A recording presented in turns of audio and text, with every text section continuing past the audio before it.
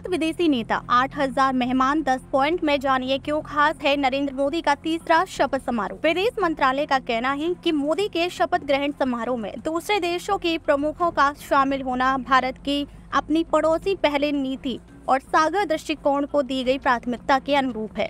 नरेंद्र मोदी आज लगातार तीसरी बार प्रधानमंत्री पद की शपथ लेंगे। मोदी का यह शपथ समारोह कई मायनों में खास है। एक तरफ़ जहाँ नरेंद्र मोदी देश के पहले प्रधानमंत्री जवाहरलाल नेहरू के बाद लगातार तीसरी बार पीएम बनने वाले दूसरे नेता है। नेहरू ने उन्नीस उन्नीस और उन्नीस के आम चुनावों में जीत हासिल कर लगातार तीसरी बार प्रधानमंत्री बनने का कारनामा किया था।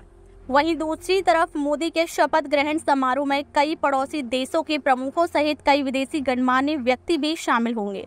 लोकसभा चुनावों के बाद भारतीय जनता पार्टी सबसे बड़ी पार्टी बनकर उभरी है। उसे 240 सीटें मिली, जबकि एनडीए गठबंधन को दो सौ तिरानवे सीटें मिली हैं। इस तरह एनडीए ने सरकार बनाने का दावा पेश किया है।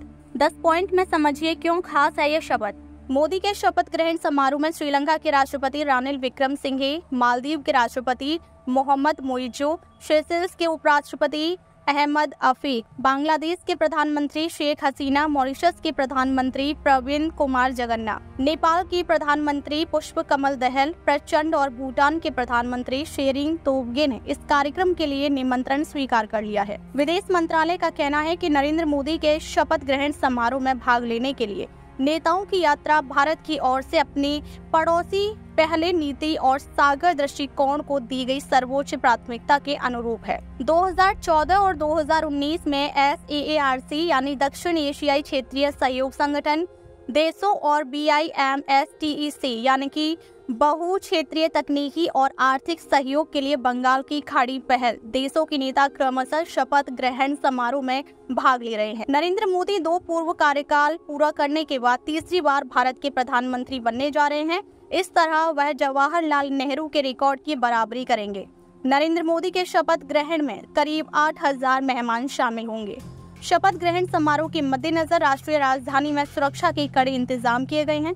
शपथ ग्रहण समारोह के मद्देनजर अधिकारियों ने 9 और 10 जून को नो फ्लाइंग जोन घोषित कर दिया है। वीआईपी मूवमेंट के दौरान ट्रैफ़िक को नियंत्रित करने के लिए करीब 1100 ट्रैफ़िक कर्मचारियों को तैनात किया गया है।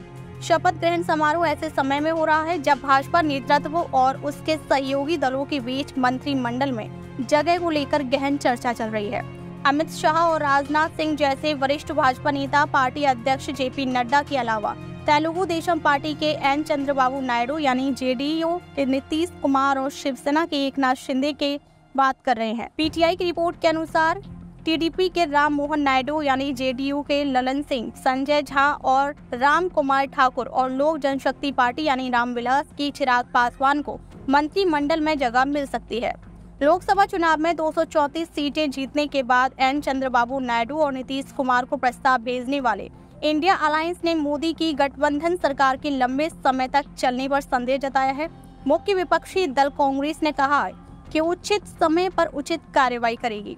समारोह के बाद राष्ट्रपति द्रौपदी मुर्मू विदेशी गणमान्यों के लिए भोज का आयोजन करेंगे। इस बीच कांग्रेस नेता के सी वेणुगोपाल ने कहा कि विपक्षी नेताओं को प्रधानमंत्री पद के उम्मीदवार नरेंद्र मोदी के शपथ ग्रहण समारोह के बारे में सरकार की ओर से कोई जानकारी नहीं मिली है।